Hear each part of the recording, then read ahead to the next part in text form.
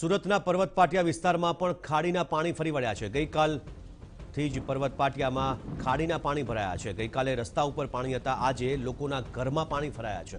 લોકોના ઘરમાં બે બે ફૂટ સુધીના પાણી ભરાયા છે. પાણીના નિકાલ માટે તંત્રએ મૂકેલા પંપ કચરો ભરાતા બંધ થઈ ગયો છે. આ સાથે જ ગટરના પાણી લોકોના ઘરમાં ઘૂસતા રોગચાળો ફેલાવાનો ભય પણ વ્યાપી રહ્યો છે. સુરતના પર્વત પાટિયા વિસ્તારની હાલત વધુ કફોડી બની છે. ગઈકાલથી જ પર્વત પાટિયા વિસ્તાર, કે જે નીચાણવાળો વિસ્તાર છે, જેના કારણે ખાડીના પાણી અહીં ભરાવાની શરૂઆત થઈ ચૂકી હતી, પરંતુ પાણીનો નિકાલ ન થતાં પાણીનું સ્તર વધ્યું છે અને લોકોના ઘરમાં પણ પાણી ભરાયા છે.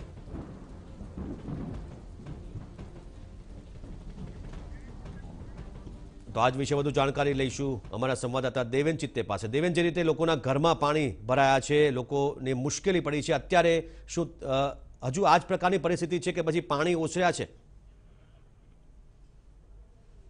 પર્વતપાટિયા વિસ્તારની અંદર જે પ્રકારે નરેન્દ્ર એ પ્રકારની પરિસ્થિતિ હજી પણ જોવા મળી રહી છે. પર્વત પાટિયા વિસ્તારની અંદર જે પ્રકારે આ ખાડી વિસ્તાર છે અને ખાડી વિસ્તારમાં જે પાણીનો ભરાવો થઈ રહ્યો છે, તેના કારણે આ જે સોસાયટીઓ છે, તે સોસાયટીની અંદર પણ સતત પાણીમાં વધારો થતો જોવા મળી રહ્યો છે. જળસ્તર ઘટવાને બદલે હજી પણ જળસ્તર જે છે, તે વધી રહ્યું છે.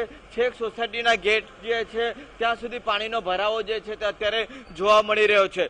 જે રીતે બારડોલી, વ્યારા અને સુરત જે તાપી જિલ્લો છે, તેમાં જે પ્રકારે અવિરત વરસાદ પડી રહ્યો છે, તેના કારણે મીંઢોળા નદી જે છે, તેના જળસ્તરમાં વધારો થયો છે અને જ્યારે મીંઢોળા નદીના જળસ્તરમાં વધારો થતો હોય છે ત્યારે મીઠી ખાડી કોયલી ખાડી જે છે સુરતની તેના જળસ્તરમાં વધારો થતો હોય છે અને તેની અસર જે છે તે રહેણાંક વિસ્તાર ઉપર દેખાઈ રહ્યો છે. અત્યારે આપણી સાથે જે કેટલાક સ્થાનિકો છે આપણે એમની સાથે વાત કરીએ.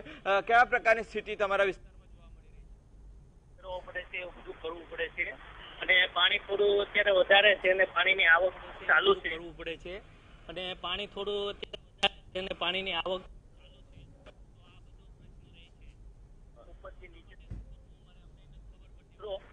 અંદર બસાડીમાંથી અંદર આવે છે સોસાયટીની અંદર.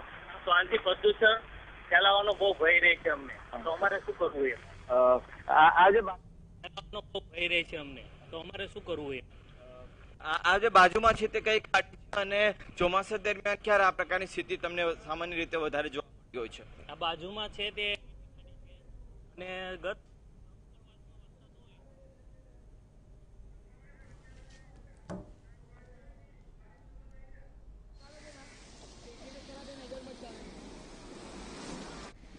તો સુરતના પર્વત પાટિયા વિસ્તારની જે સોસાયટીઓ છે, ત્યાંના રહીશોની હાલત વધુ કફોડી બનતી જાય છે. કારણ કે જે રીતે અહીં પાણી ભરાવાની શરૂઆત થઈ છે, ખાડીના પાણી એ લોકોની સમસ્યા વધારી છે.